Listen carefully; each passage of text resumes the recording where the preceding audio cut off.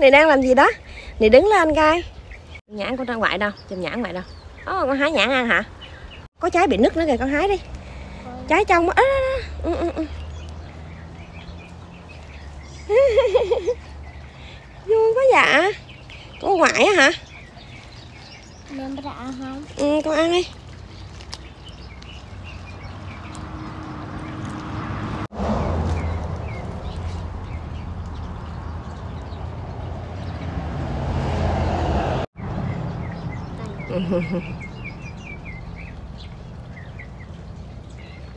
Dục nó đi.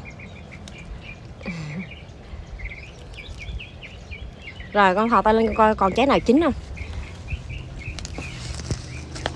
Đâu mẹ coi mẹ quay nè Mẹ quay cái. Ừ, Trái nào chín?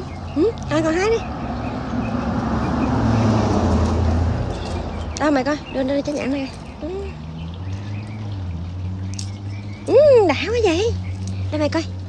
Wow, đưa đây chiếc nhãn này coi. Wow. Wow, đã quá. Mày thích không? Con ăn đi. Con ăn đi. Nó chôm của bà ngoại nãy giờ nè bà ngoại ơi nếu như ở Florida hoặc là Texas thì mình trồng một cây nhãn không có gì là quá khó cả nhà ơi. Nhưng riêng với miền Bắc Cali mà trồng được một cây nhãn như thế này thì quá tuyệt vời, Bởi vì nó, thời tiết khí hậu nó khó lắm cả nhà.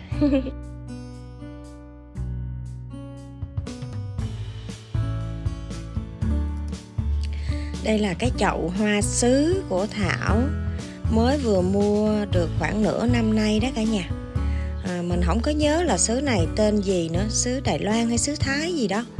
Mình rất là thích hoa sứ luôn cả nhà ơi. Mà Thảo cũng làm chết nhiều cây lắm rồi Bởi vì mình không có kinh nghiệm trồng đó. Anh chị em cô bác nào có kinh nghiệm trồng sứ Thì à, để lại comment chỉ cho Thảo với nha. Năm nay thì à, không biết mùa đông năm nay mấy em này sẽ như thế nào đây. Loại này Thảo thích lắm bởi vì nó có hai tầng hoa luôn. Cái trái bò của Thảo này cả nhà Mình để giống đó.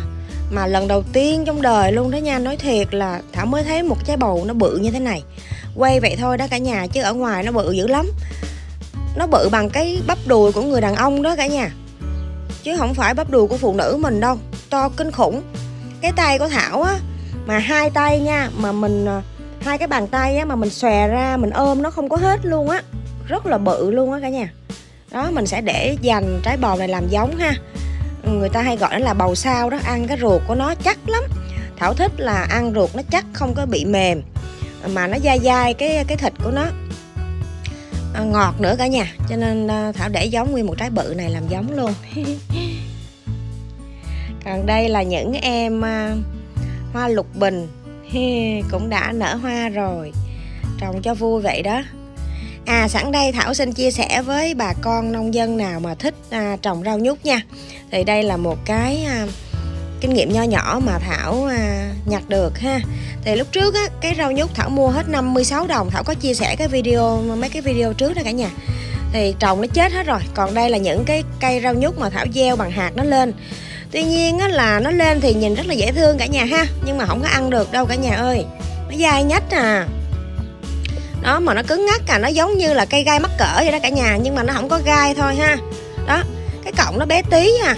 Mà mình à, mà ngắt á nó dai lắm nó không có giòn mà nó không có mọng nước giống như cái rau nhút mình mua ngoài chợ ăn. Cho nên thảo cũng sẽ bỏ ý định luôn là trồng rau nhút để ăn nhất là cái vùng bắc cali của mình đó cả nhà. Thì à, trồng những cái rau nhiệt đới này khó khăn dữ lắm rau nhút nè rồi à, à, ca lá lốt đồ đó khó lắm cả nhà còn đây là cái em ờ, lan thủy tiên của mình. Hôm nay nở một chùm đẹp quá. Có lần thảo chụp cho bạn bè xem thì mọi người bảo là hoa giả. Cho nên hôm nay thảo quay rồi thảo cho cái tay mình vào luôn.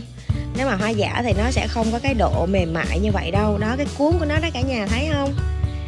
Màu rất là xinh xắn dễ thương. Trắng rồi điểm chút vàng ở cái nhụy cưng với cả nhà ha. Cái này thảo trồng cũng đơn giản lắm à, thủy tiên này thảo cũng chỉ trồng với lại à, potting mix thôi đó cả nhà. Đó cái rễ nó thò ra ngoài luôn.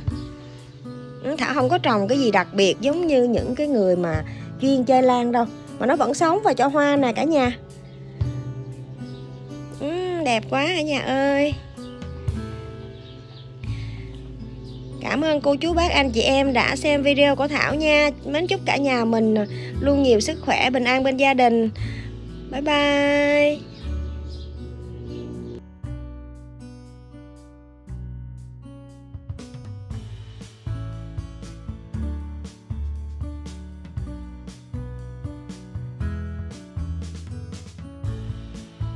Tên gì đây cả nhà? À, mình thấy đẹp quá hoa của mỹ. Mua về gieo nó lên. Nhìn những cái cánh sen nhau đẹp ha cả nhà ha.